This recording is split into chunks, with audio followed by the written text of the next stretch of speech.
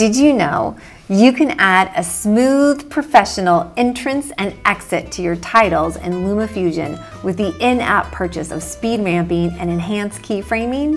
Let me show you how you do it. First, create your title. Open the Frame and Fit editor. Drag the playhead to the first frame of the clip. Turn on keyframing with the animate icon which will create your first keyframe. Move the title to where you want it to start its journey on or off the screen.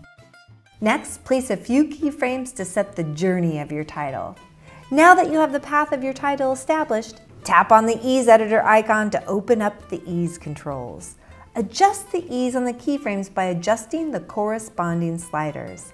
Purple for the ease into the keyframe and green for the ease out of the keyframe. Here on your landing position, Dragging the purple slider to the left will land the title slower, slide it to the right, and the title will arrive more quickly. If you are short on time, select the Ease preset, which will automatically adjust the ease sliders for you.